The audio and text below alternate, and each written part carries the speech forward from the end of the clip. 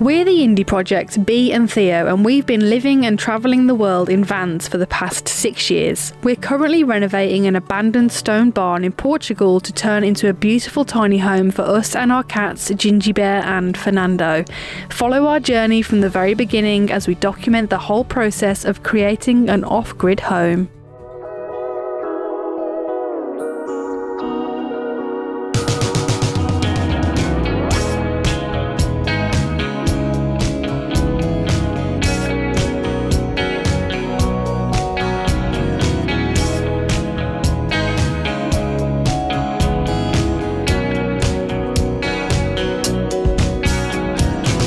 Everyone and welcome back to another instalment of our barn conversion series. Behind me is the wall that Theo finished pointing in the last video and it looks absolutely stunning.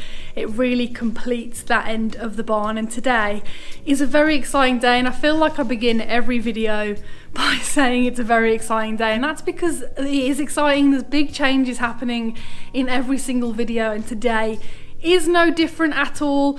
Big changes happening inside the barn, so make sure if you haven't already that you click subscribe and turn on all the notifications so you don't miss our next video because there's a lot of stuff happening over the next few months. We're so close to being able to move into this barn and we're getting to the end of the really big construction stuff, so I'm really excited about that because building's great and it's been a lot of fun to see the changes happening in the barn, but there's new stuff that's going to be happening happening that's just as good.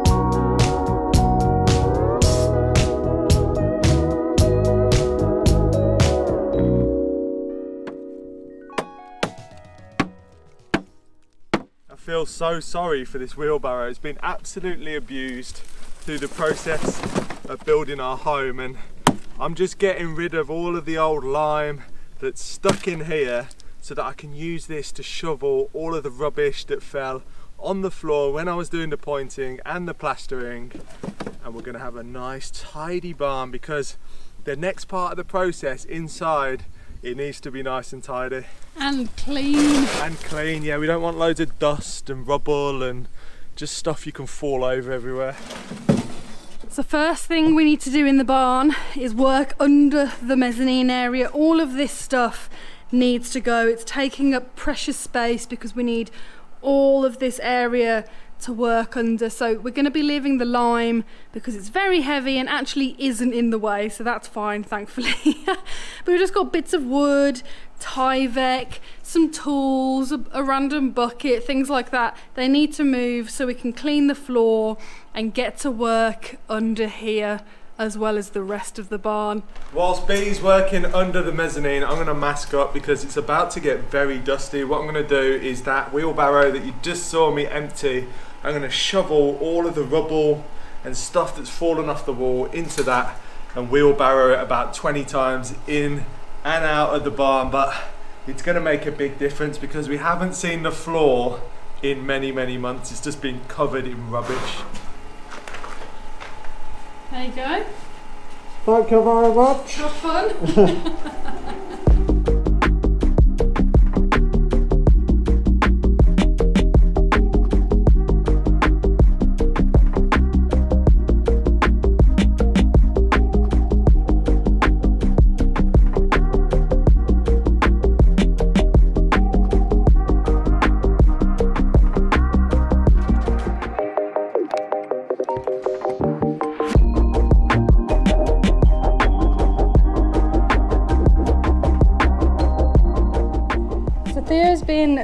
sweeping up along here. Looks really fantastic and we've realised we've got some things in here that don't need to be in here. So he's also just taking those out as well. As things going in the centre we're going to actually just take random things out as well but look at this! The flat floor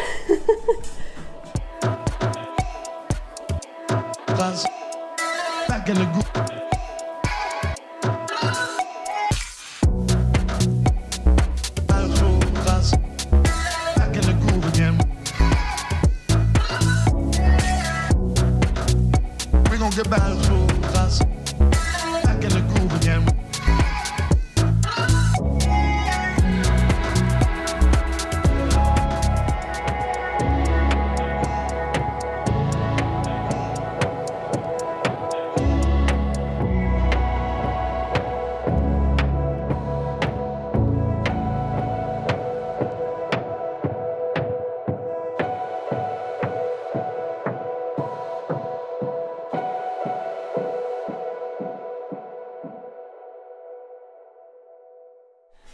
Well, we've made pretty good progress. Look at this. So much floor space. We're not finished, but we're making very good progress, like I said.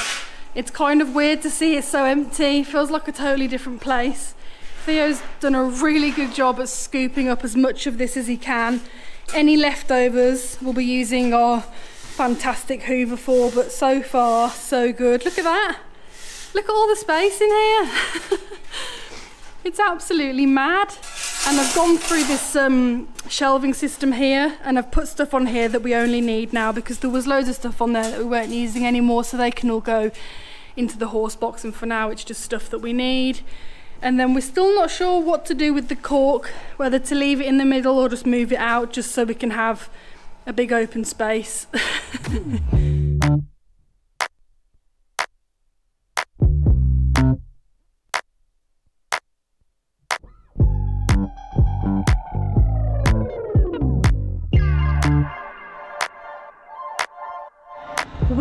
got everything out that we needed to and I don't know if it's just me being really over the top but it sounds a lot more echoey in here now that a load of the stuff has gone it sounds like I'm in some sort of massive hall it's kind of crazy but all we've got left in here now is the lime and the shelving unit that has some random bits and pieces on there that we will need in the future. Everything else that's gone out will pretty much stay out now. A lot of it can go back into the horse box because it's things we're not going to be using in here.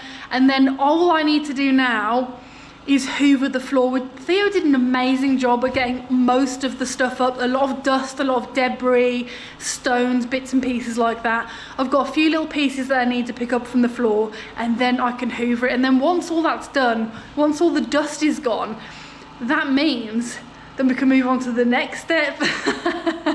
but the space feels so big.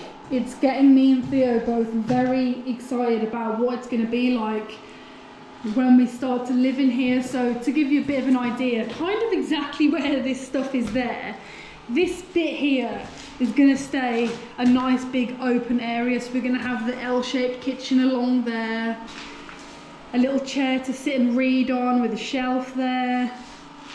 Wood burner will go right here. Sofas and chilling stuff under here.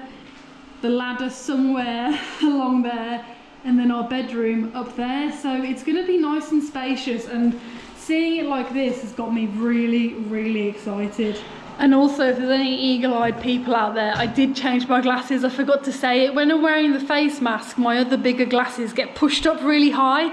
So these work perfectly with them and I've got to say, wearing glasses and those masks is definitely not fun. I don't enjoy doing it at all, but it's really worth it because when it's super dusty in here, you don't want to be inhaling that stuff. And I'm actually going to pop the mask back on now. I just took it off so you could hear me because it's really difficult to talk with it on.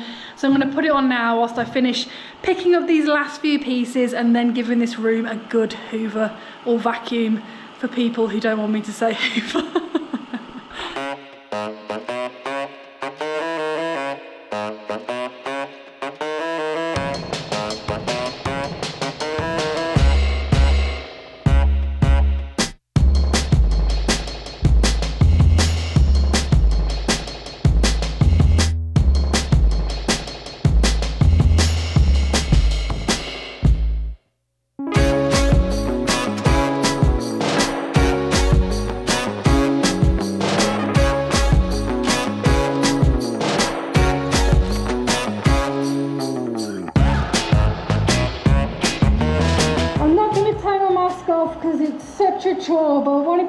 That the hoover, the vacuum makes with the dirt.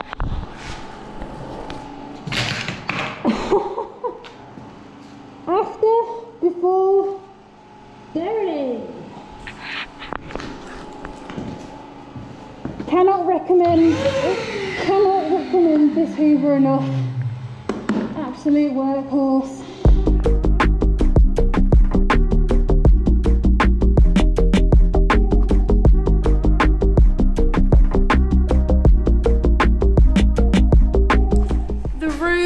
Now vacuumed. It's dust free, it's lovely. The floor is a completely different colour. There's so enough room for dancing. There is enough room for dancing. My back is a little bit achy because it was just uh, continuous awkward hoovering motion, which I've not done for a long time because there's not really much to hoover in a caravan or a van. But anyway, now that's done, the next thing we need to do is get the stones and the walls ready for the whitewashing, for the lime washing, which is which is just the best experience ever. We've not even done it yet, but I already know it's going to completely transform this room. So Theo is going to start on the stone cleaning now. So for you guys who are not sure what lime washing is or what lime washing means, it's essentially we're just going to be whitewashing the walls that have already been plastered in lime. So because we're going down the traditional route of using all of the old methods of how this barn would have been built back in the days and trying to bring it back to life in the original manner. We're going to lime wash the walls and basically lime wash is just natural pure lime with water added to it to create your own paint. So what it does is you water it down to a, a quite a thin consistency and then you can paint that onto the walls. But there's a few things we need to do. We need to protect all of the wood because this lime wash can splash everywhere. We also need to get these stones here looking nice because what's happened is when we were plastering these walls and pointing around these stones, bits of lime falls on the stone and it kind of adds a little bit of, of white comes off on the stone and we don't want that. We want these stones looking gorgeous like these clean stones behind us. So I don't know where I've put it but I've got myself a wire brush, got a mask, got my glasses. I'm to chip away and then use a uh, bit of water to clean it off and hopefully these should scrub up nicely and then we can prepare ready for the lime washing. Theo's done a test run on this stone and all of the bits of lime that had gone there have now gone so it looks really lovely but the next thing we need to do is put the scaffold up so it can go over the door and he can finish the higher up ones because they're pretty difficult to reach and then he can work his way all the way down.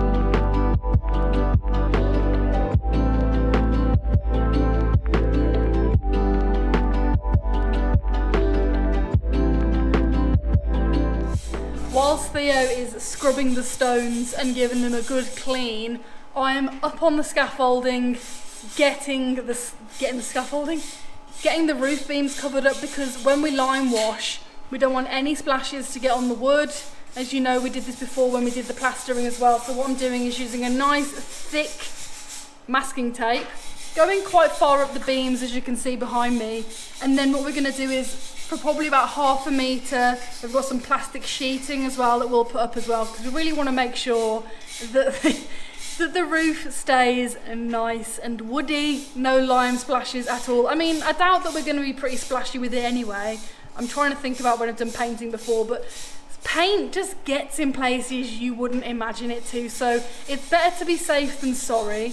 I've got the whole barn to go around, so it's quite a long process, but it'll definitely be worth it. How's it going? Good. Looks so much better. It does, it looks really nice. So much better. I can bring this off to talk to you. yeah, oh. My arm's killing, but it's just well worth it. Just seeing that now. So I've done that stone and this cubby hole, and it just looks so fresh like these stones, and it makes a hell of a difference. And uh, I've just got to go around the door and then we've got another window frame to do, but not too much, but it's definitely taking longer than I thought because inside the cubby hole I found a load of really old cement that had been put down, I guess, to kind of level it out because it used to be like a shelf. So I had to chip all that off and it was a bit of a process, but well, I'm going to carry on. Okay.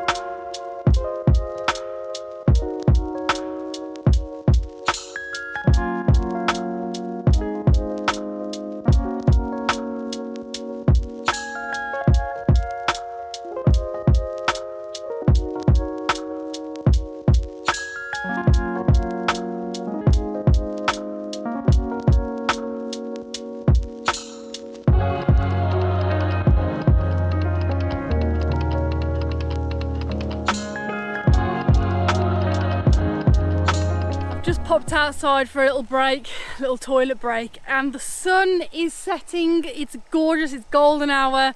I don't know if you can tell, so I'll get some shots on the old cutaway camera, but it's such a lovely evening. I've got to say, these autumn evenings are really nice, but ah, have some fresh air is good to get out of the barn and enjoy this sunset. And Ginjey Bear's come to join me, haven't you? Oh, I gave her an electric shock for some reason, so she's not going to let me go near her now. I'm sorry, Ginge. Come here. You don't trust me, do you? It was an accident. I don't know why that happened. Oh, she's not going to let me go near her.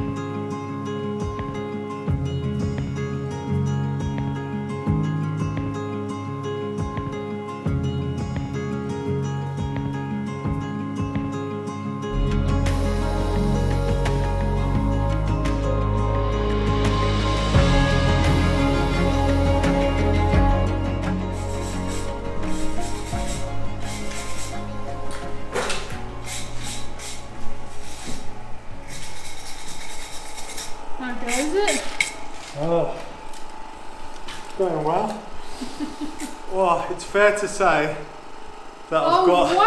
Oh my gosh, look at this! shows how hard I've been working. That's mad.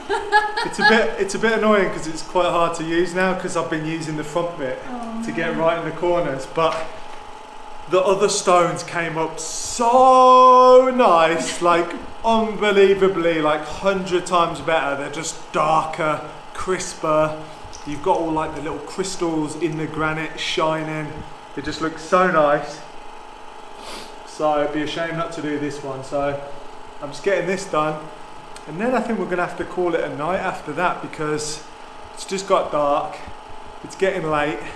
And this has taken so much longer so than we thought. long. We were like, oh, we'll just clean it out in a few hours, put the masking tape up, clean the stones, and we'll be done. And then we can whitewash the walls and do a first coat. And obviously, that hasn't happened. but it's going well. It, it's not a race. No. We're not here to race. We're not here. We're here to enjoy ourselves. We're building our own home. For a lot of people, this is a once in a lifetime thing. So if we don't enjoy it now, we may never get the chance again. Although we will, because I'm definitely going to build another house in my in my lifetime. But anyway, I want to enjoy it. That's the that's the moral of the story.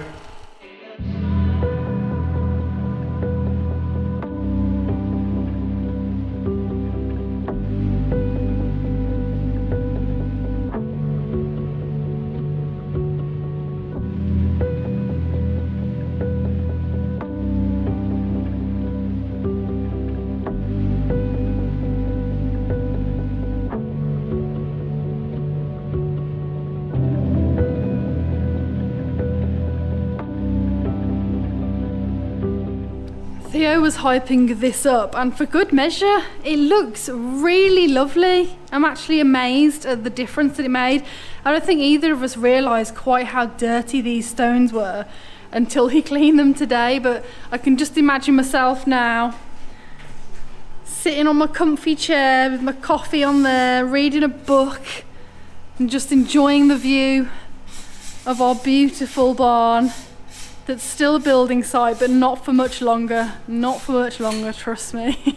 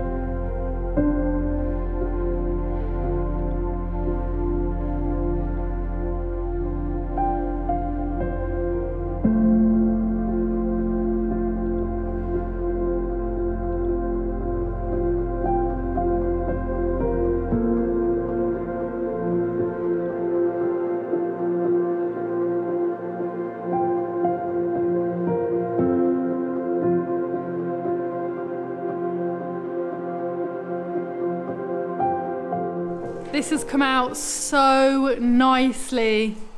Look at that stone. I really like the fact that it's brought out some redness in the stone up there as well. It's lovely. And this is going to be the kitchen window. How lovely is that? Nice and clean. And don't worry if you're thinking, oh my gosh, the wall is so wet. Doesn't matter about getting this wall wet. We're going to be drenching it for the lime wash anyway. Another end to another productive day. It's been so good. We've achieved so much. Like I said, it took way longer than we thought we was going to be doing. This was meant to be a video basically about lime washing the wall. but it didn't happen. So you have to tune in to the next video to see these walls be transformed because what the lime wash does is it goes a really brilliant matte white and it's been used for centuries this method. So I'm excited to try it. It's going to be really good and I'm sure we're going to learn a lot along the way. So make sure you stay tuned for the next video. See you on the next one